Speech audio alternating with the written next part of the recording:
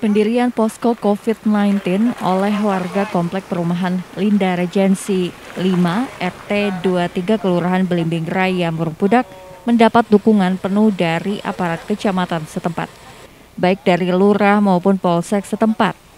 Posko yang memeriksa suhu tubuh setiap warga yang memasuki area komplek ini dinilai menjadi tameng pertama dalam mencegah penyebaran COVID-19.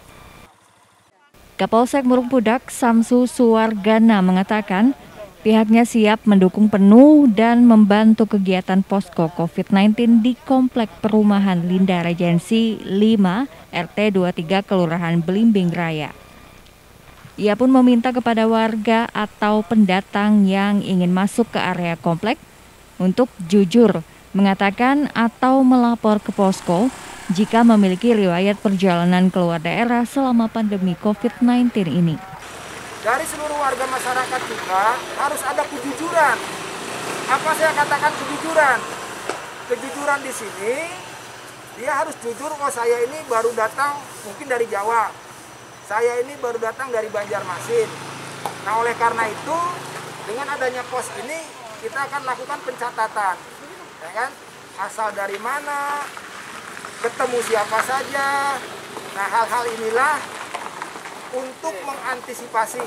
Jadi saya selaku Kapolsek mengucapkan terima kasih kepada Pak RT dan seluruh warga yang sudah berinisiatif untuk melaksanakan kegiatan ini. Demikian.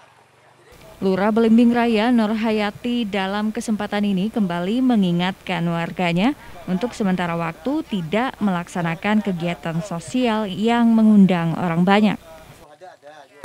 Artinya kami mengimbau untuk sementara ini ditiadakan untuk acara di PKK, uh, posyandu, sama se untuk rapat-rapat jalan di warga.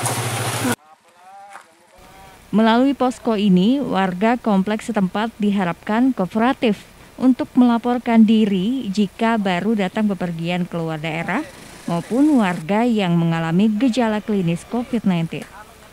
Maimun TV Tabalong melaporkan.